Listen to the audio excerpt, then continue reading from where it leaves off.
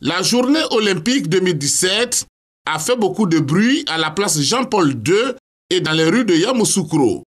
Trois étapes ont constitué les temps forts de cette journée.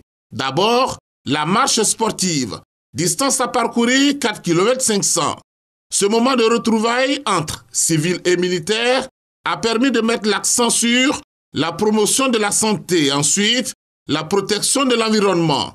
Notons que la journée olympique est mise à profit pour enseigner les valeurs et les principes fondamentaux de l'olympisme, à savoir l'excellence, le fair play, l'amitié, le respect. Je voudrais vraiment remercier tous ceux qui ont contribué à cela et dire que nous avons passé une très bonne journée olympique, très représentative de la journée olympique mondiale.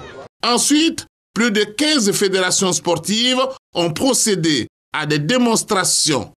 Selon la charte olympique, la pratique du sport est un droit pour chaque individu. Très prochainement, nous allons mener cette caravane dont ils ont parlé. C'est une recommandation qui nous a été faite de faire une caravane pour que les populations sachent c'est quoi l'olympisme, c'est quoi ces valeurs-là que nous voulons, que nous prenons tous les jours, qui sont des valeurs nobles.